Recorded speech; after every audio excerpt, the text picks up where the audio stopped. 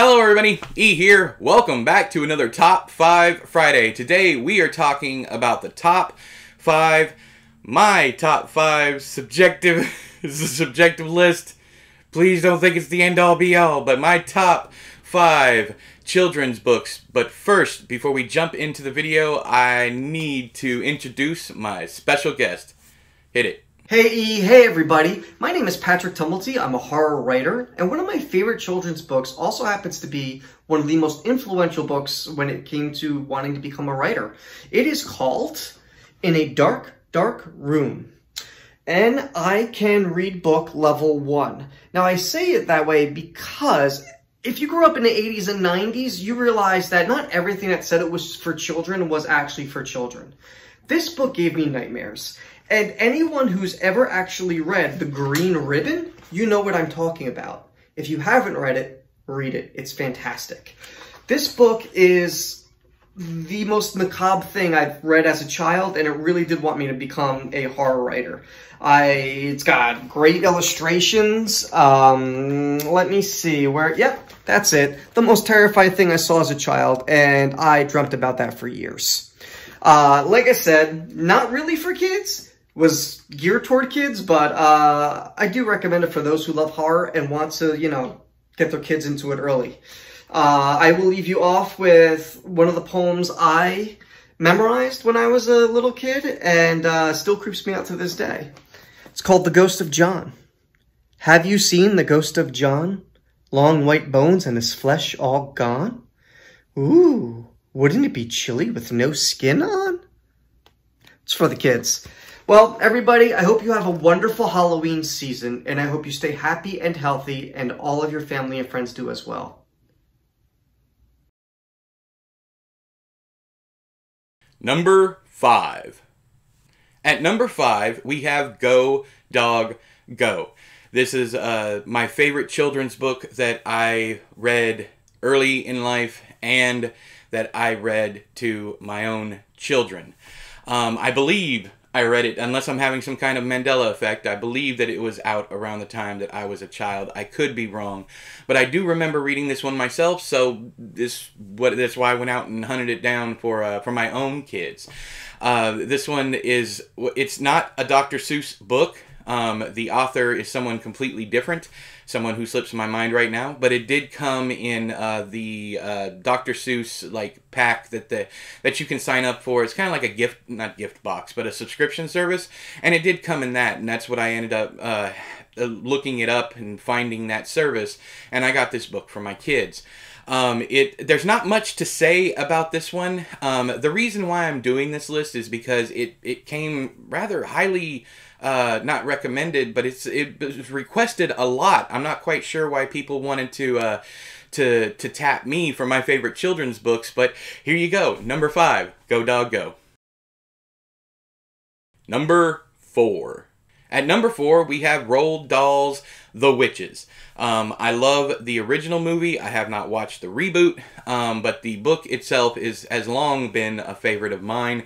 Uh, it was sent to me a couple years back by my friend Jessica. Hello, Jessica, if you watch these. I don't know if you do or not. But uh, uh, she sent it to me um, along with The House with the Clock in Its Walls, the movie that uh, the one that they adapted with Jack Black. Anyways, uh, The Witches was, it might actually be my first experience with horror um with I, I i'm not i'm not sure i i remember reading it very very young in life because um i enjoyed the movie and my mom got me the book. But uh, this one, I I especially love all the. Uh, I think this is one of the things that made me love, like, uh, not recompense, but uh, villains getting their comeuppance. You know, um, I I really enjoy the final scenes of the book and the movie. Um, it's it's probably my favorite as far as as far as you know kids movies. Not my favorite. This is only number four, but um, not my favorite uh, kids book. We'll get we'll get to that one. But yeah, this one. I think it's a good jumping off point for any parents who want to get their kids into something that's a little scarier than you know maybe your your average children's book. Um, and I, I'm not sure, is this one considered middle grade?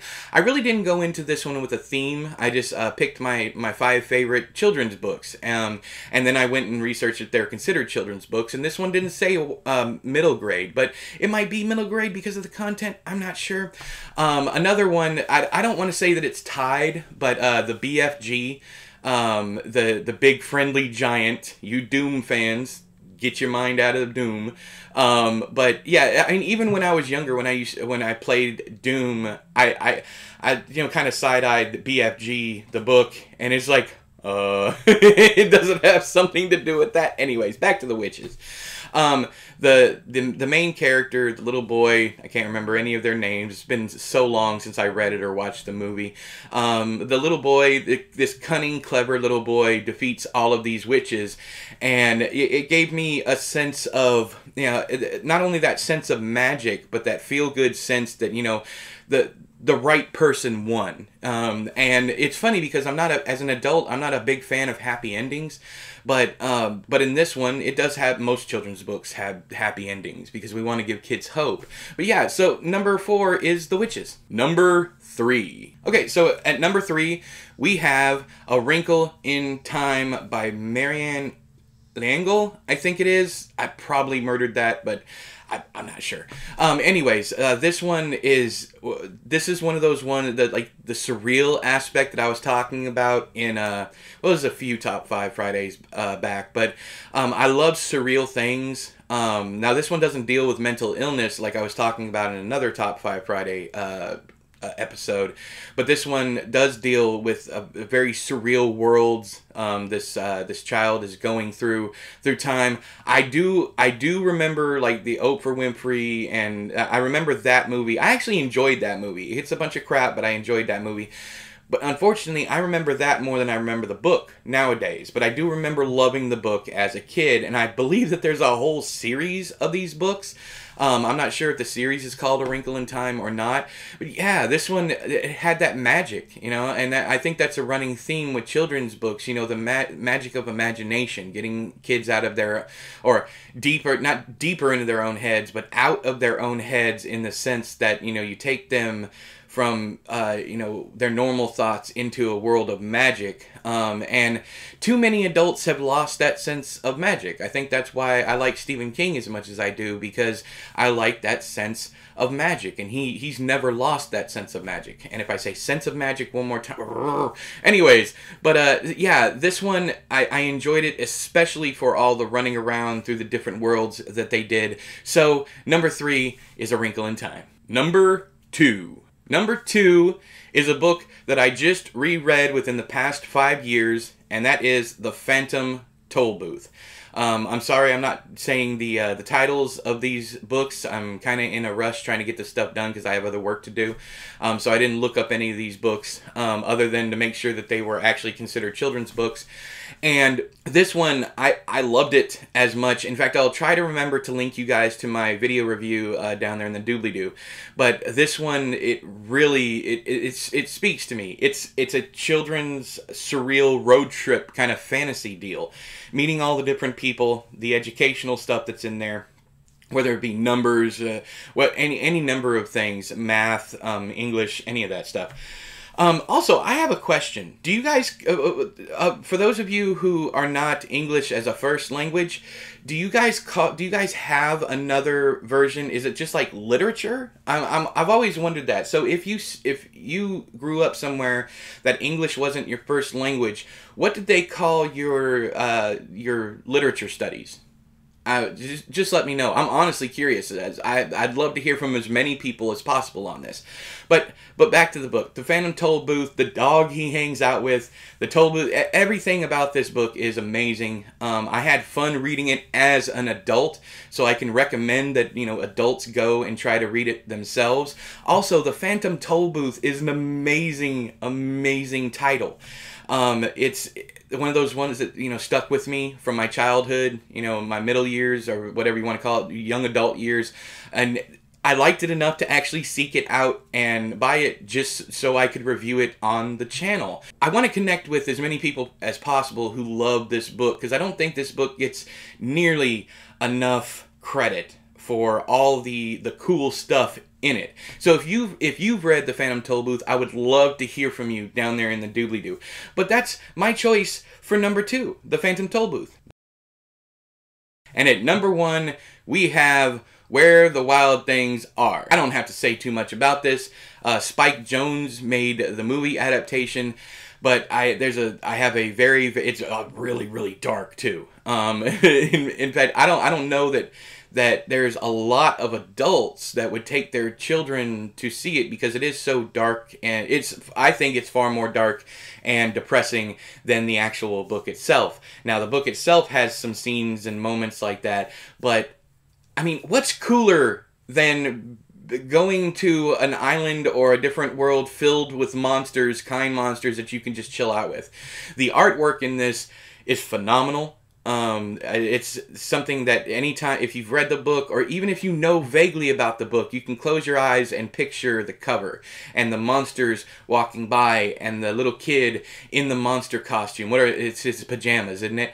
Um, but it, that's that's me, and I think that's a that's a lot of of you guys too, as far as horror fans you know that we would be that person in you know in monster pajamas uh, hanging out with monsters. Um, because a lot of us are outcasts a lot of us are outsiders um, yes, I have 10,000 subs on this YouTube channel, but I still feel like an like an outsider. I'm stuck somewhere in between. You know, uh, sm- smaller channels think I'm too big, um, and bigger channels think I'm too small. So I'm right there in the middle, and I've kind of been that way my entire life. That's why I like you know looking for you know differing opinions. I, I, like talking to people because I'm pretty much an introvert. Uh, it doesn't seem that way on camera, but the only person I'm talking to is the camera at the you know when I'm filming these things. So it's really easy. It's much easier than getting up in front of people. Um, and if I don't want to read comments, I don't read comments. You know, if I'm not in that mood to go you know dig through the trash and the trolls and all that stuff, I just don't read them.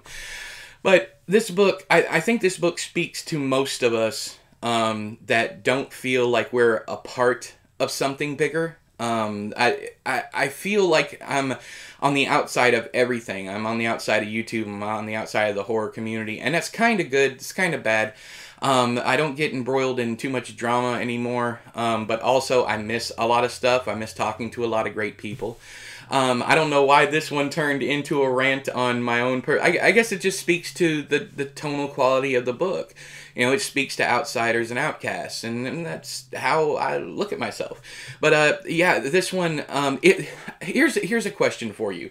Um, instead of the outro question, you know, it, I want to know about the Phantom Toll Booth If you've read that one, um, I want also want to know if you don't like this book. Um, I especially want to hear from people who don't like where the wild things are. Um, I want to know why you don't like it. I would love to hear why you don't like it, or maybe why you don't think it's a good book for children, or any number of things. Just let me know your thoughts on it, especially if you didn't like it. But that's it for this week's Top 5 Friday. Um, leave your own favorite children's books down there in the doobly doo and answer the question. Please answer the questions I asked about the, the last two books. But until next time, I have been E, you have been you. This has been another Top 5 Friday. I'll talk to you guys later. Bye bye!